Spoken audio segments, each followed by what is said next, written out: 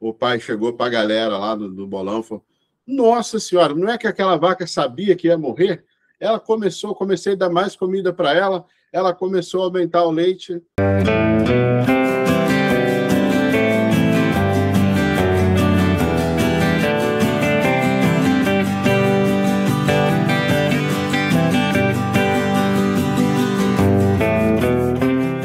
A vaca de 40 litros de leite. Terminei uma palestra no interior de Salto do Lontra, faz alguns anos já. E lá nesse município veio um jovem falar comigo no final da palestra, falou, Juliano, a gente guardou dinheiro do fumo por todo um ano. Um ano lá trabalhando, aí a gente conseguiu guardar o dinheiro do fumo porque a nossa família queria uma vaca de 40 litros de leite. Meu pai foi lá em Castro, trouxe essa vaca para cá, na primeira semana, essa vaca deu 40 litros de leite. Aí a gente foi lá no campo de bocha, lá no sábado, conversando. E o pessoal, aí como é que é a vaca? Não, a vaca está com 40 litros de leite, fantástico. Na segunda semana, a vaca foi para 30. Terceira semana, a vaca foi para 20. Depois de um mês, ela já estava dando 10 litros de leite. Com 40 dias, essa vaca já estava produzindo 5 litros de leite por dia. E meu pai lá falou: ah, essas vacas de 40 litros, isso aí é só no jornal, só nas revistas, isso não presta. Aí meu pai pegou e falou pro pessoal. Aí, o que, que aconteceu? Meu pai falou: não, eu vou pegar essa vaca, colocar ela num cercadinho, vou enfiar um monte de comida nessa vaca para eu matar essa vaca. Fazer uma carne dela, já que leite ela não quer produzir.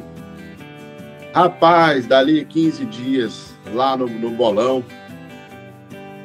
o pai chegou para a galera lá do, do bolão e falou: Nossa senhora, não é que aquela vaca sabia que ia morrer?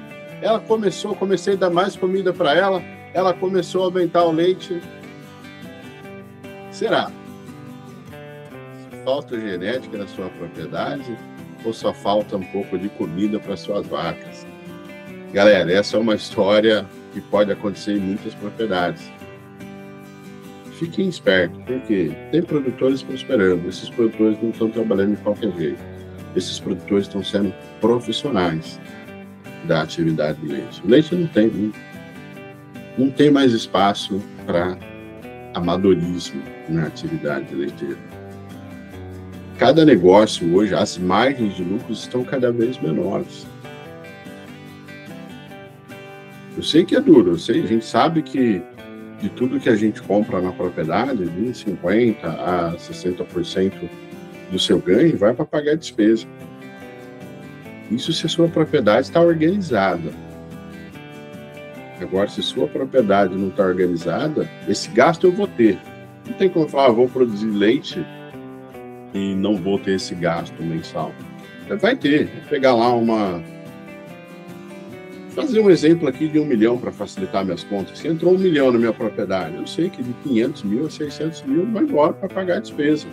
Vai me sobrar o restante. Ali.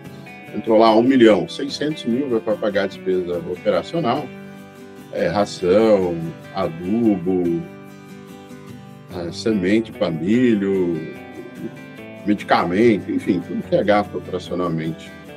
Mais os investimentos, dependendo da sua taxa de investimento, 10, 20 ou 30% por ano e vai sobrar uma pequena margem para você viver com sua família. Essa margem pode ser 40%, 50%, não sei. Mas não é lucro líquido.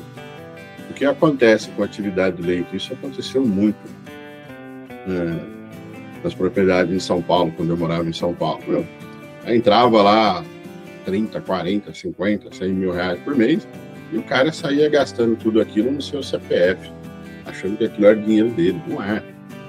Aquilo, parte disso é, é, é da empresa. E você? Tem feito essa separação na sua propriedade? O que, que, é, que é gasto realmente da empresa? O que, que é gasto pessoal? As propriedades de leite que prosperam seguem um padrão. E você? Que padrão você segue na sua propriedade? Comenta aqui pra gente.